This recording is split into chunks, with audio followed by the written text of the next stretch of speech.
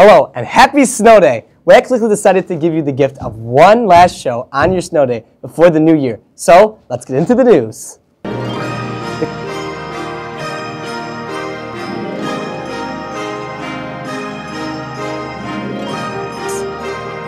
The girls varsity basketball team won their opening game in league play with a score of 42 to 22 victory over host JFK. The win improves their record to 5 and 3. Shout out to senior Cassidy Bauer who was the high scorer with 13 points. Great game, ladies. Tuesday night, the boys varsity swim team defeated the Tonawanda Warriors with a score of 109 to 70. Congrats, boys. Keep that winning streak up.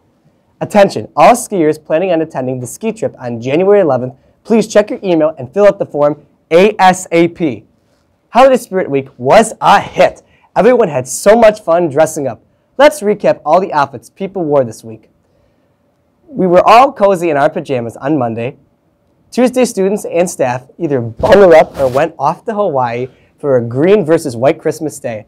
Wednesday, everyone dug out their most festive Christmas sweaters. And yesterday, the North Pole came to Alden High School with all the Santa and Elves lookalikes. We want to give one of our favorite teachers a special shout out. Congratulations, Mr. Stone, for retiring with 27 years at Alden Schools. Have a great retirement. You deserve it. Although we love our snow days, we're sad to miss out on our favorite holiday tradition, Holiday Havoc before break. You don't have to worry though, because Holiday Havoc will be rescheduled to the last day before February break. Before we sign off the year, I wanted to spread a little bit of Christmas cheer by telling the story we've heard a million times, The Night Before Christmas, Alden Edition. Here's a sneak peek at my story. Twas the night before Christmas, and all through the school, not a creature was stirring, except in the pool.